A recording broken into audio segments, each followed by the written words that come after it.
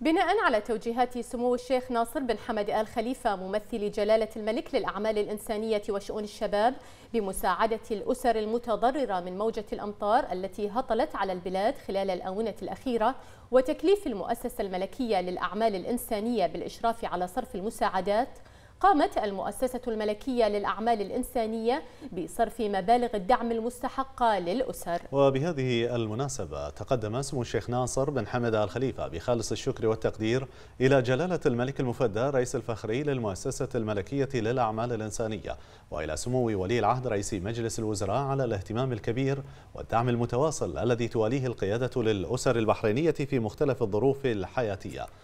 سائلا المولى عز وجل أن ينعم عليهما بموفور الصحة والعافية وأن يجعلهما ذخرا وعونا وسندا للوطن والمواطنين وأن يجعل ذلك في موازين حسناتهما مؤكدا أن المؤسسة الملكية للأعمال الإنسانية تعمل على تحقيق رؤى وتطلعات جلالة الملك المفدى حفظه الله وتنفيذ توجيهاته في تقديم كافة أشكال الدعم للمواطنين. من جانبه ثمن الأمين العام للمؤسسة الملكية للأعمال الإنسانية سعادة الدكتور مصطفى السيد تكليف المؤسسة للقيام بهذا الدور الإنساني لمساعدة الأسر المتضررة من هطول الأمطار وبين أنه فور تلقي التوجيهات الكريمة. فقد قامت المؤسسة بفتح باب التقديم الإلكتروني لتلقي طلبات الدعم للأسر المتضررة عبر موقعها الإلكتروني.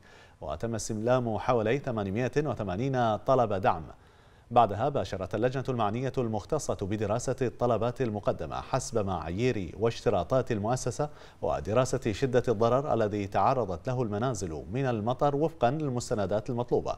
وبناء على ذلك تم اعتماد قائمة الأسر المستحقة للمساعدة وتحويل مبالغ الدعم في الحسابات البنكية لتسهم بذلك لمعالجة بعض الأضرار التي لحقت بالمنازل.